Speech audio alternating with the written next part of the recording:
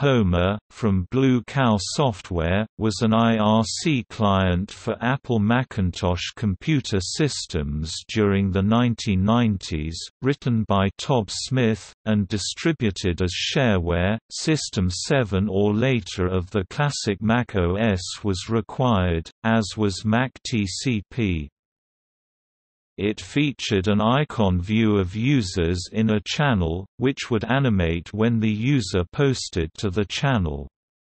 It also provided notification of incoming CTCP finger commands.